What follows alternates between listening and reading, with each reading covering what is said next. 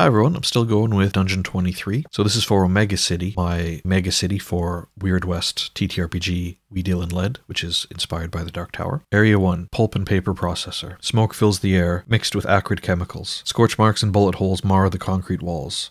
Crude barbed wire barricades long torn down, all valuable materials long looted. Number 2, Smoking Skull Cairn. Stacked 100 feet tall, charred black. Smell of cooked meat persists in the air. Fresh fires and new skulls added nightly. 3. Reeking subway entrance. Overpowering stench of ammonia stings the eyes. Flashing irregular lights at dusk, followed by piercing sirens. Everyone avoids, even the locals and undead. Number 4. Impound Yard. High fences, barbed and electrified.